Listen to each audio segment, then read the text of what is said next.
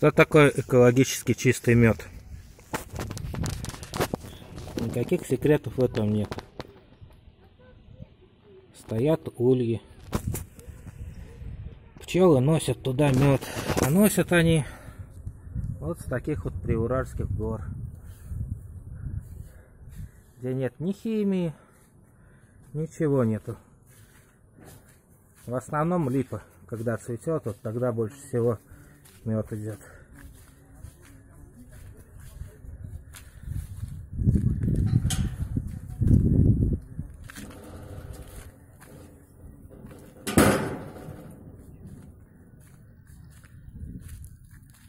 Вон туда, вон на гору они летают, там где куча лип.